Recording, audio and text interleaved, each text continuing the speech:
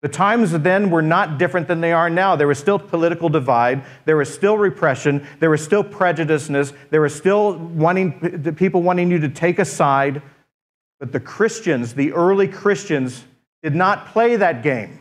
They didn't buy into the lies or the falsehoods or the conspiracies. They didn't spread hatred. They didn't fight with rumors. They didn't create villains. They fought for this peace